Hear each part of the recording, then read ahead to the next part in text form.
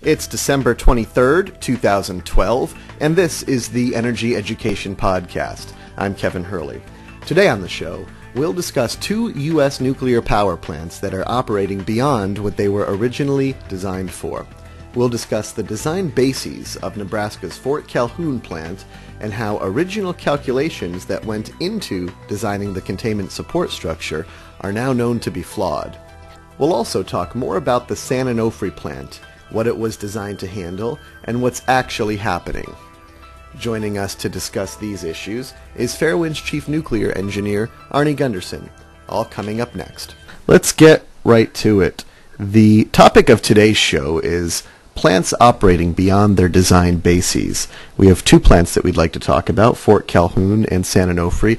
Fort Calhoun is a plant, a nuclear plant in Nebraska that experienced severe flooding last year, and there was some concern about that. Arnie, you were talking about that at the time, but some new information may be raising some cause for concern. Uh, can you talk about that?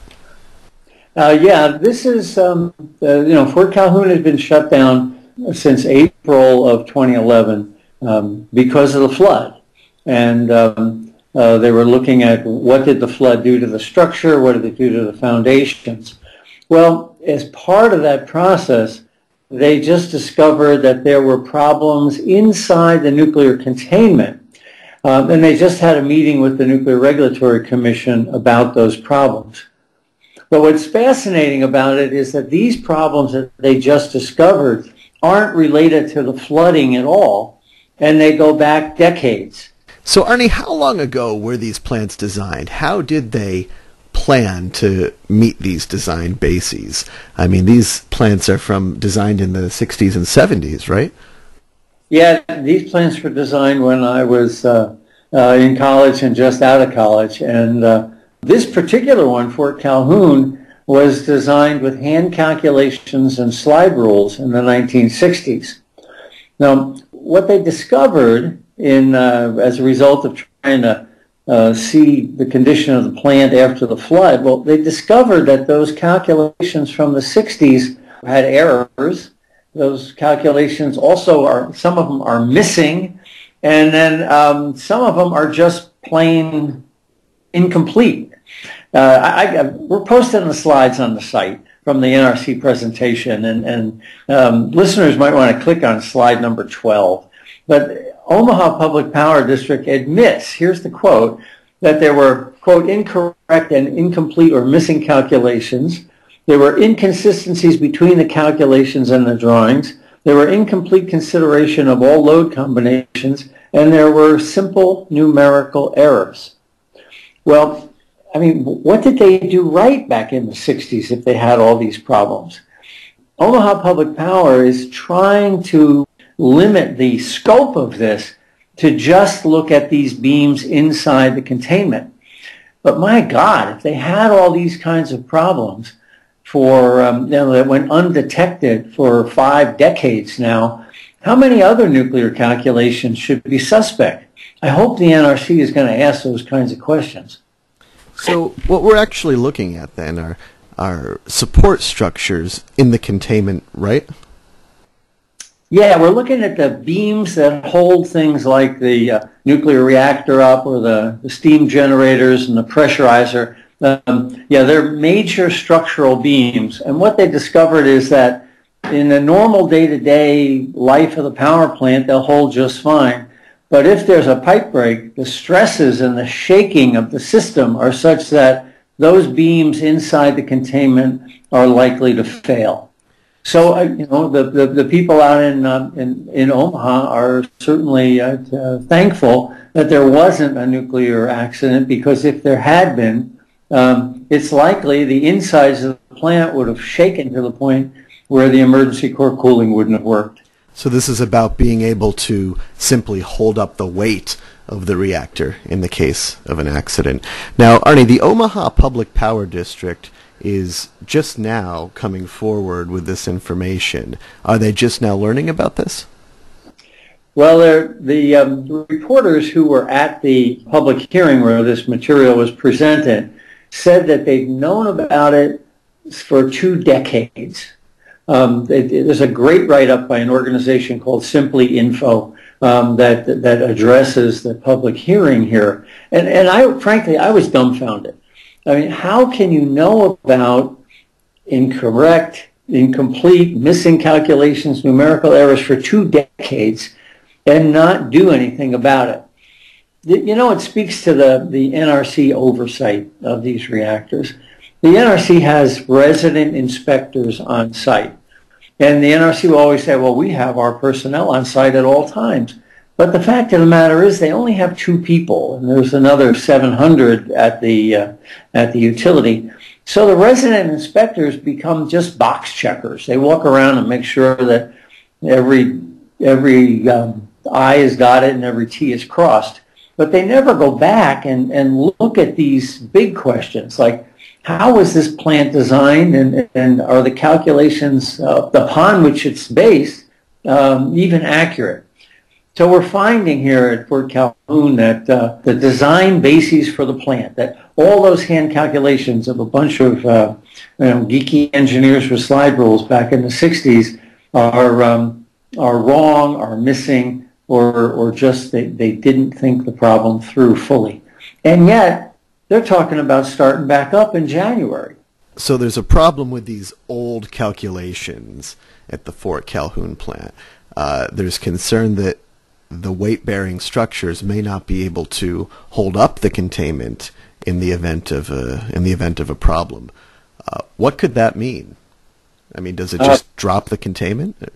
Yeah, what it means is that um, had there been a uh, uh, an accident, had a pipe break, uh, occurred, the, the extra forces on the plant, not just the dead load of these things just sitting there and operating, but the dynamic twists and turns of the plant as, um, as a pipe were break, uh, would likely have caused these things to fail. You know, they, they went back in and they started to look at different beams. And uh, they said, well, let's look at these six beams and see if you know this is just a, a rare problem or uh, is it systemic. And they looked at six and they found all six were wrong. So it's clearly an indication of a, of a systemic problem.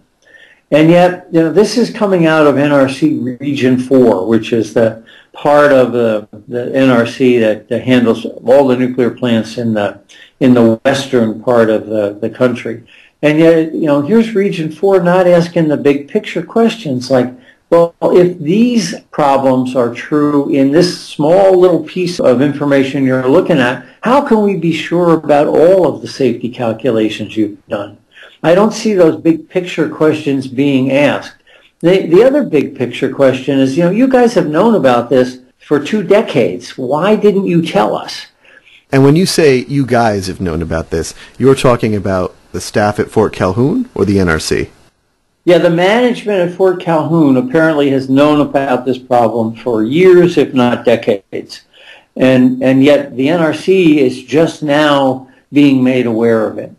You know, when, when in the nuclear industry, if an employee were, were to um, know about missing calculations or incomplete calculations or incorrect calculations and not tell immediately about these problems, they would be fired, and then the NRC has a process where they're banned from the nuclear industry for five years. I don't see the NRC even considering that for Fort Calhoun's management.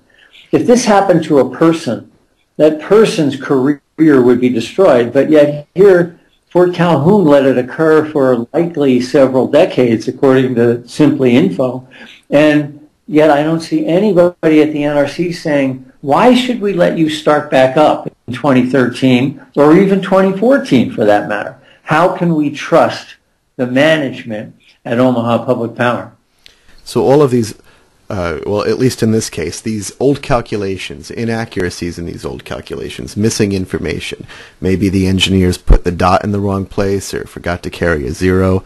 Um, whatever that is, do you suspect that that's limited to the Fort Calhoun plant only at this point? Well, there's two parts to that. First off, I don't think it's just limited to the containment at Fort Calhoun. Within Fort Calhoun, if they've got these problems on the beams inside the containment, I can't imagine why they wouldn't have problems uh, throughout all of the calculations. Um, but we turned a blind eye to design bases issues at other plants. So within NRC Region 4, it's not just Fort Calhoun that they are you know, deliberately giving a buy to. Um, here's Fort Calhoun, and they're saying, well, you know, we'll, we'll seriously consider starting you guys up in January of 2013. Um, we see the same behavior in NRC Region 4 on San Onofre. All right, Arnie, I do want to talk about San Onofre. Uh, before that, though, I just want to uh, touch base with you about your fundraising goals. Fairewinds has a goal of $50,000. Where are we along the way? You know, we posted a fundraiser about a, about a month ago uh, trying to get enough um, enough money to move forward into 2013. And I'm really gratified by the results. We are 80% there. We thought we'd need about $50,000 to get through 2013. And um, so far, people have donated about $40,000. So we're really close to our goal. It's so gratifying to walk down to the mail and, and, and get small checks from many people who really care about the message of, of Fairewinds. And to those people who have sent, I really appreciate it. And in the last week here before um, the fiscal year ends, uh, if, you, if you haven't sent, I urge you, please consider uh, sending a donation on to Fairewinds. So Arnie, moving on to San Onofre. Today we are talking about design bases issues. Uh, tell me what's going on at San Onofre right now. Well, if, if you're a frequent visitor to the Fairewind site, you'll know there's about four reports up there from uh, Friends of the Earth about problems at the steam generators at uh, San Onofre. Just real quick, they replaced the steam generators, and in a, in less than a year, uh, they had uh, multiple tube uh, fail failures inside a steam generator. Steam generator is like a forest of little tubes, not much bigger than your finger, um, but they go 30 or 40 feet high, and uh, they began to vibrate and damage each other. So just to clarify, Arnie, the steam generator tubes are carrying very hot radioactive water through non-radioactive water so they can transfer the heat but contain the radiation. Is that that's how it's working? My God, Kevin, we're going to make an engineer out of you yet. Yeah. I think you said that last week. um, okay, go on. So what what are what are the problems with these tubes? Okay, so well, what happened in uh, in January of uh, last year? The uh, the plant sprung a leak in one of these tubes, and they went back in and they did a pressure test, and eight tubes failed the pressure test. Now, what that means is that had there been an accident, uh, eight of these tubes would have likely burst. And the plant's design basis, what it's designed for, is one tube bursting. So basically, the, the conditions inside the planet were eight times worse than anybody ever expected. So had there been the accident, had there been this thing called the main steam line break accident, not one pipe, but at least eight and possibly even many more. Uh, they did wind up ultimately plugging 1,300 tubes. So perhaps hundreds of tubes might have failed. But the, the important thing here, getting back to design bases and, and region, NRC region four, the plant clearly was operating outside of its design bases. It was designed for one tube breaking and in fact at least eight would have broken, if not more. Now what that means is that all of the emergency planning structure would have been useless. We're talking about an accident that could have been eight times worse than what the, um, the state of California is prepared to respond to. What, what can happen in the event of this accident is uh, you might have to evacuate all the way out to Los Angeles and all the way down to the Mexican border. This was a big deal. When these tubes fail, they would leak about 5,000 gallons of water every minute out of the nuclear reactor into places where it never was designed to be. So you've got radioactive water leaving the nuclear containment and heading into places that aren't designed to retain it. But more importantly, the plant is not designed to make up 5,000 gallons of water into the nuclear core. So the nuclear core might not have been cooled and you might have had a meltdown. So the, this problem is, uh, I think, the most significant near miss we've had in the last 20, uh, at least 10 years. And the NRC in Region 4 is ignoring the fact that San Onofre was operating well beyond what it was designed for. Now, here's what's, uh, what the NRC's position is on this. What the NRC in Region 4 is saying, well, yeah, we know eight tubes or more would have broken, and we know it would have been a much worse accident than you can, um, uh, you can design for. But the chance of a mainstream steam line break was only about double. So because the probability didn't go up too, too much, we're going to give them a buy. We're going to say, okay, you weren't really act, acting outside of your design bases. If the NRC had determined that it was operating outside its design bases, they could levy a $150,000 a day fine for the 18 months that the plant was running. It could easily add up to a billion dollar penalty. They don't want to go there. So let me try to make this a little more understandable for me. These tubes are carrying radioactive water at very high pressures in order to transfer heat and run the turbines. They planned, what I'm understanding you say, is that one tube at the most could break. What you're telling me is that there, yes, there is the problem of this radioactive water leaking into a non-radioactive area, and that's one problem to deal with. But the main problem, if eight tubes break as opposed to the one tube that they planned for, is too much water would be lost, and they wouldn't be able to make up for it and cool the reactor. Is that right? That's it exactly. None of the uh, reactor simulators are designed to handle an, an accident where eight tubes break. There's simply not enough water to inject back into the nuclear reactor uh, as it's depressurizing in order to prevent the core mm-hmm. from being covered, which means you know, you're going to get uh, tube failures.